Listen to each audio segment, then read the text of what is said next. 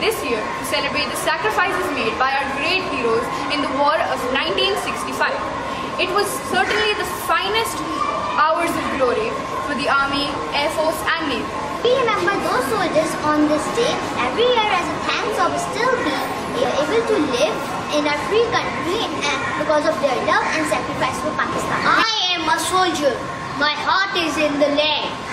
I fight for life and freedom as I woke up on the sand.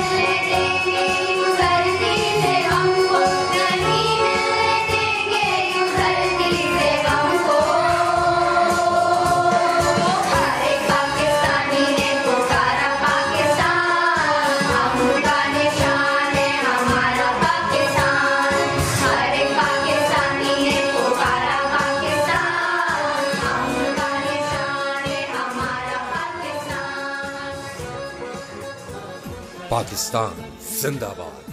पाक फौज पाइंदाबाद। रंग लाएगा शहीदों का लहू। लाए